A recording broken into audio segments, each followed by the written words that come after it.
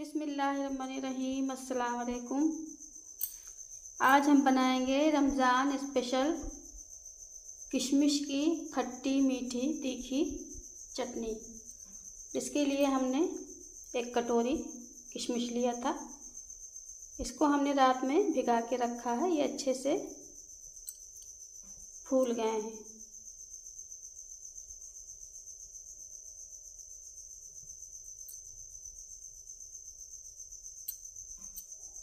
इनको हम mixie jar में डाल देते हैं सबसे पहले। बिस्मिल्लाह।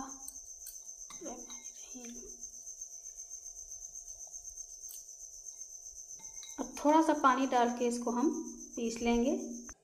और ये देखिए हमने किशमिश को महीन सा पीस लिया है। इधर हमने एक मुट्ठी भर के इमली ली थी। इसको हमने रात में भिगा दिया था। तो इसका हमें पल्प निकालना है। क्योंकि किशमिश में इतनी ज़्यादा खटास नहीं होती तो थोड़ा सा इमली का पल्प भी डालेंगे। अच्छे से इसको हम मिक्स कर लेते हैं पानी में। और अब हम इमली के पल्प को इसे में छान लेते हैं।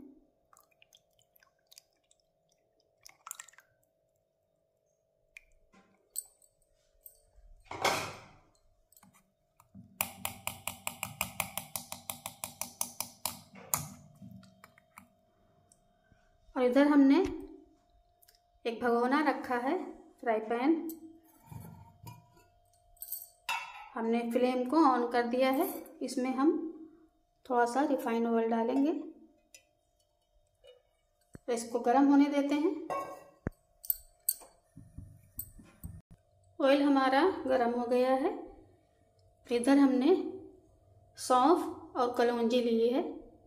थोड़ी थोड़ी सी है ये। इसको डाल देंगे।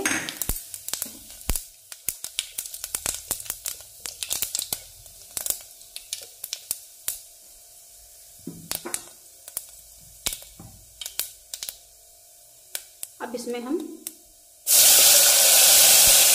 इसमें डाल देंगे। जो पल्प हमने बना के रखा था।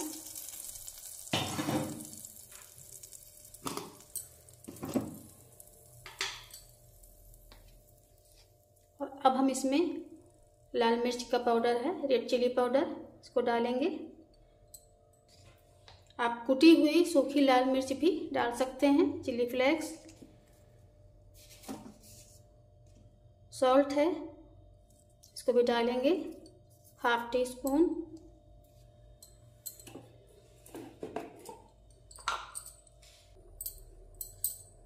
काला नमक है, थोड़ा सा इसको भी डालेंगे। और ये ऑरेंज फ़ूड कलर है। को डालेंगे, थोड़ा सा डालेंगे।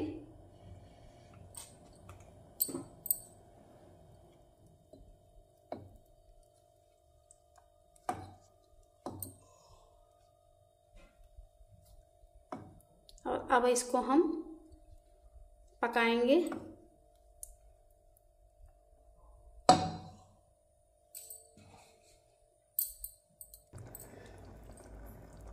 ये देखिए, ये अच्छे से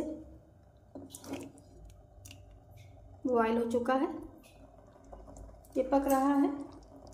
अब हम इसमें एक कटोरी शक्कर है, इसको डाल देंगे।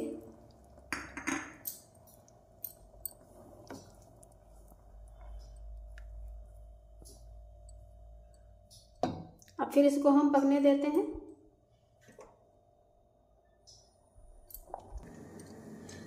और इधर हमने लेमन लिया है। अब दो नींबू का रस इसमें हम डालेंगे। अच्छी सी खटास भी आएगी और ये पूरे महीने रमज़ान में चलेगा।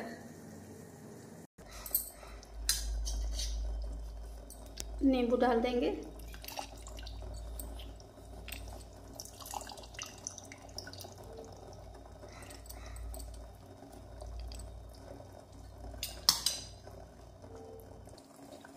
और ये देखिए, हमारी चटपटी सी किशमिश की चटनी रेडी हो गई है। अब फ्लेम को हम ऑफ़ कर देते हैं। और इसको हम निकाल लेंगे।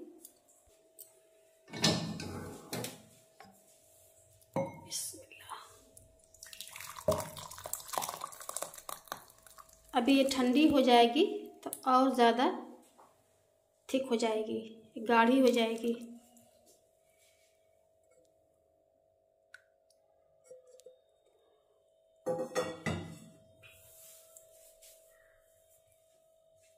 ये देखिए।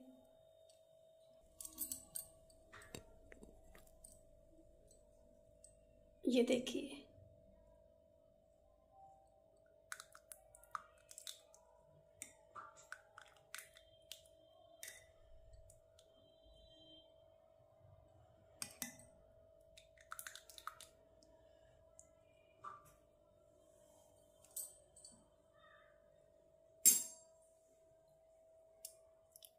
la is.